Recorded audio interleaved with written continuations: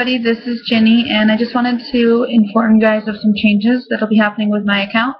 This YouTube account is uh, linked through my school email address, and since I just graduated, um, that email address will be deactivated. It might not be deactivated for a couple of years, but I'm trying to just switch over to a new email address. And sorry this quality is really poor, but it's not really necessary that it be great video quality. Um, anyhow, so I'm going to be changing to a new YouTube channel because for whatever reason, YouTube won't allow me to change the email address on this account.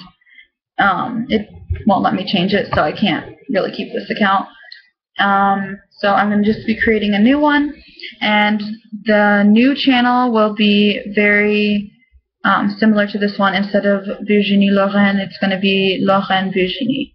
So just switch the two names around. You can find it really easily. I will post a link in the description box for this video so that you guys can find it. And please subscribe. I would hate to lose my subscribers by changing channels. So if you guys could please do that, I'd appreciate it. And I will probably be making one or two more videos like this just in case people miss this one. So if you don't want to see those, you can unsubscribe from this one right now.